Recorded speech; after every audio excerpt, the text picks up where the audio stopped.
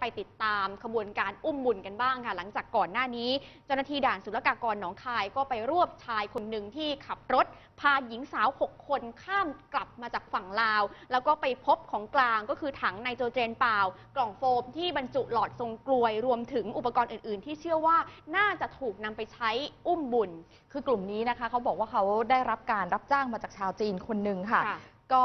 ไปส่งให้ตรวจในห้องแลบเจ้าหน้าที่ก็ไปจับกลุ่มมานะคะ ก็เชื่อว่าสิ่งที่พบนี้เป็นโครโมโซมของมนุษย์ด้วย ค่ะ ความคืบหน้าค่ะ เรื่องนี้นะคะ เจ้าหน้าที่ด่านศุลกากรก็ส่งมอบของกลางค่ะ ซึ่งก็เป็นหลอด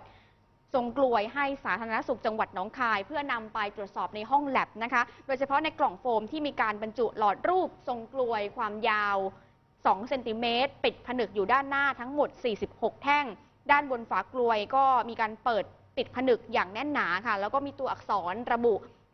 YY XY และ XX รวมถึงวันที่เอาไว้ด้วย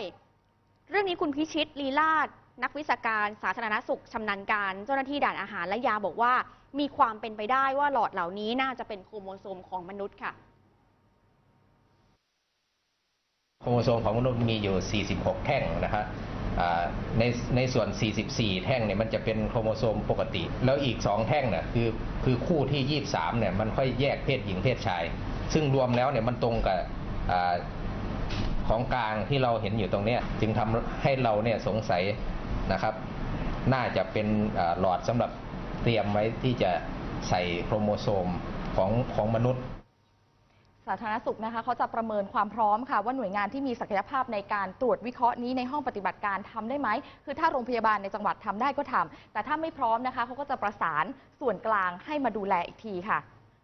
ขณะที่นายนิมิตแสงอัมภัยนะคะในด่านศุลกากรหนองคายเขาก็บอกเพิ่มเติมเขาบอกว่าเมื่อวันที่ 21 พฤษภาคมที่ผ่านมาก็มีเจ้าหน้าที่ตำรวจกองปราบ เดินทางมาขอเอกสารการจับกลุ่ม และข้อมูลที่เกี่ยวข้องจากศุลกากรไปแล้ว เพื่อเอาไปประกอบการดำเนินคดี ซึ่งก็ต้องรอผลการตรวจพิสูจน์ทางห้องแลบปฏิบัติการ คือหากว่าเป็นโครโมโซมมนุษย์จริง ก็จะเรียกตัวนายนิคมสิมารัตน์คนขับรถที่พาหญิงสาว 6 คนมาสอบสวนใหม่ได้เหมือนกันค่ะ